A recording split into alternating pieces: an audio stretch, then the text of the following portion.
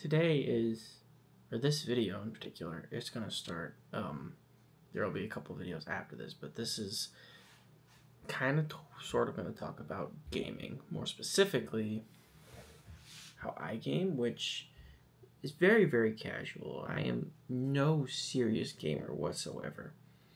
But I have been dabbling in a little bit of some other stuff recently, mainly including this neat little gadget right here.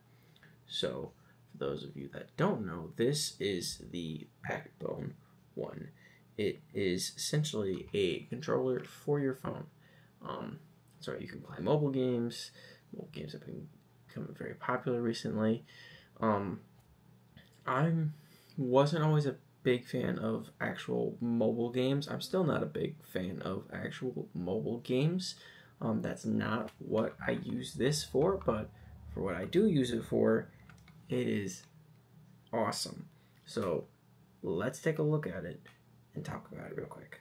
Let me show you. So this is the backbone. It is just a big. It is just a video game controller for your phone. It extends out to fit multiple sizes of phones. Uh, it's very very um, average layout. You have your offset thumbsticks here. You have a nice D-pad. You have A, B, X, Y buttons over here. Some of these other control buttons down here. These are all for different features in games. These can be start and stop buttons, menu buttons. This is the capture button um, so that you can do screen recording if you stream and or upload stuff to a YouTube channel or a Twitch channel, Discord, stuff like that. Um, this orange button, this is the backbone button. Um, it has its own dedicated button because there's actually an app, an actual subscription service that you can pay for that comes with this controller. It's not required to actually use the controller, but it's something that you can take advantage of. Um, it just has a USB-C style connector that you can take. Take.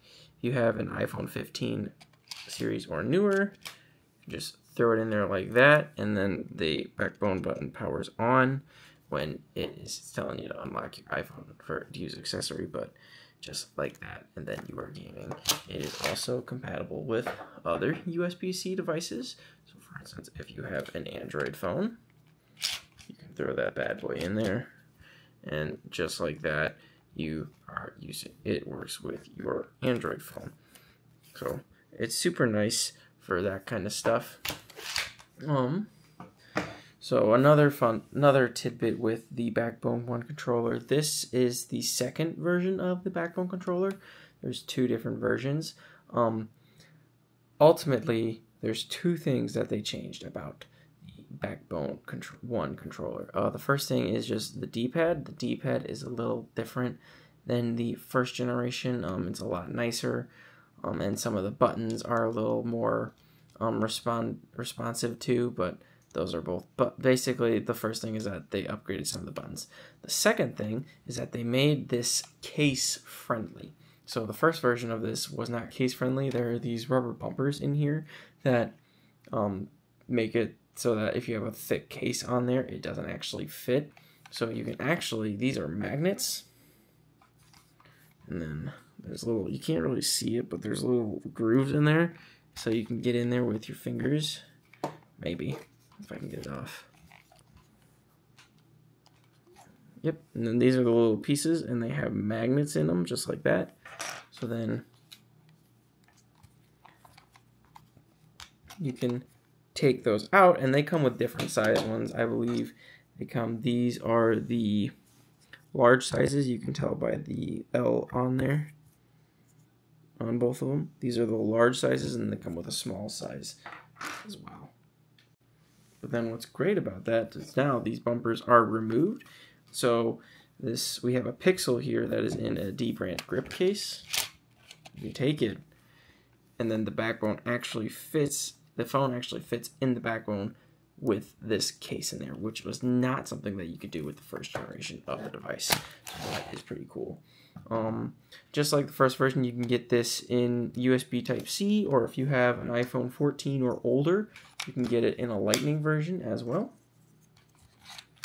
And just on the bottom here, we have a pass-through USB Type-C port, and we have a pass-through audio jack so that you can plug in anything with a 3.5 millimeter cable. That is basically the rundown of the Backbone 1 controller. So at the top of the video, I made a comment that I'm not really a big fan of mobile games. Not necessarily that I'm not a fan of gaming on my phone, I just, I'm not into a lot of the mobile games like PUBG, Call of Duty Mobile. I don't think you can play Fortnite on the iPhone anymore still, but like those kind of games, I'm not really into that. Um, basically, the games that I wanted to play are either on the Switch, which I have the Switch, so I don't need anything special to do those, or um, anything like console wise that you can play on Steam, which I have been doing that recently. I, w- I recently was gifted a um, gaming laptop, so I've been using that to play some games through Steam. Not like Steam Steam games. Basic. I've been playing Spider Man. okay, um, I played Spider Man, played Spider Man and Spider Man Miles Morales. Recently, they dropped the trailer for the PC remastered version of Spider Man 2 that'll be coming at the beginning of January, which I'm excited to play that through PC. So I've been using this is I don't always want to just sit around with a laptop on my lap. If I'm gonna like I'll sit with it at the desk and that's fine, but like if I'm sitting on my couch and I'm trying to play some games on like my laptop, um, the laptop obviously gets hot because it's playing games, and so I use this with my phone, just like this, and I open and I use Steam Link, and just like that, I am playing Spider-Man on my phone with my backbone. And it's really nice. What I really like about this is it's very much like a Switch style almost that I can sit down and play the games. Now, are there other options to actually play games in this style? Yes, there's Steam Deck. There's the ROG Ally. Those are the um, I mean, there's also the Lenovo Legion Go.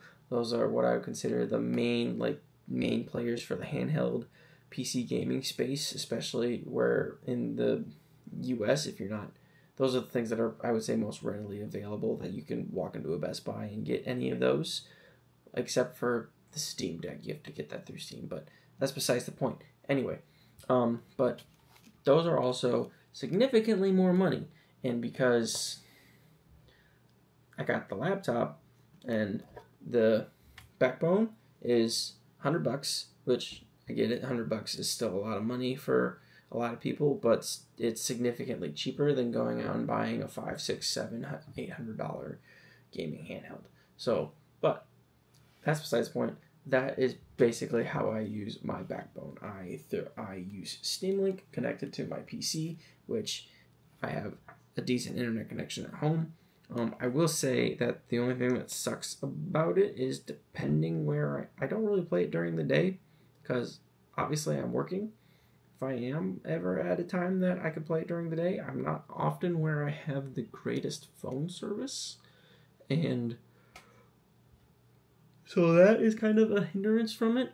Oddly enough, the best place that I get the best phone service is where I go to the dentist. And I've played Spider Man a little bit sitting in the dentist's office, and that's about it. But that's besides the point.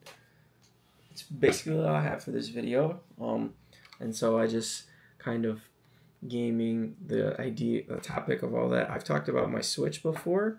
Um, longtime viewers of the channel will know that I originally started a series about building the ultimate Switch kit that never went anywhere. Um, I meant for it to go somewhere, and then I joined the army and left for basic training, and I don't have a desire to finish building that switch kit.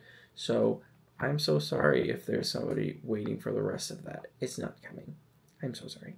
But I figured so in this, I could kind of bring back the gaming aspect of it, just how I casually do it, and see how you guys feel of it, or make fun of me. Um, someone made a comment on one of my last videos about the security cameras that basically all of my privacy is null and void because Amazon. And they do make a point, but also my counterpoint is cameras were cheap. And they work for what I need. So, you know what?